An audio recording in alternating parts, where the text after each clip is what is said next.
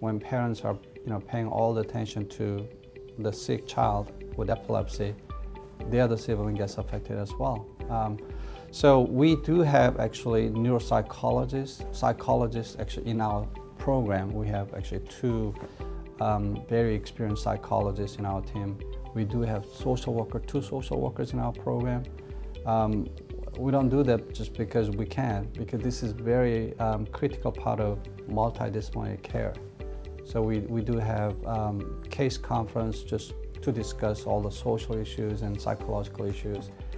And um, interestingly enough, 30% of patients that come to our unit, our program, actually do not have epileptic seizures, but they have seizure-like behavior.